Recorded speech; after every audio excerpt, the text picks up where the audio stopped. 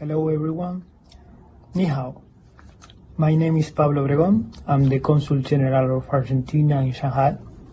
You know, Argentina is famous for its fresh and delicious red shrimp.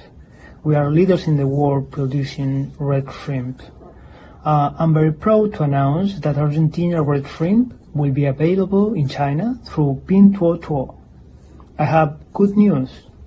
From now, Argentina red shrimps will take part in the 10 billion subsidies in Pinduoduo.